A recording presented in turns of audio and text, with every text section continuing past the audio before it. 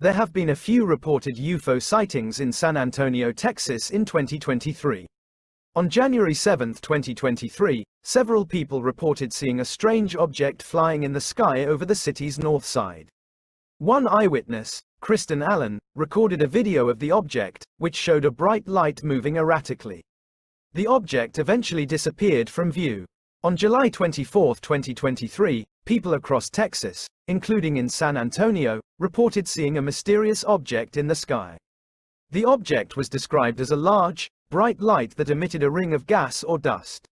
Some people speculated that the object was a SpaceX rocket launch, but SpaceX denied that any of their rockets were in the area at the time.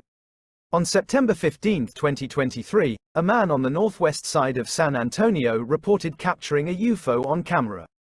The photo showed a small, metallic object flying in the sky. The man said that the object was moving erratically and that it disappeared after a few minutes.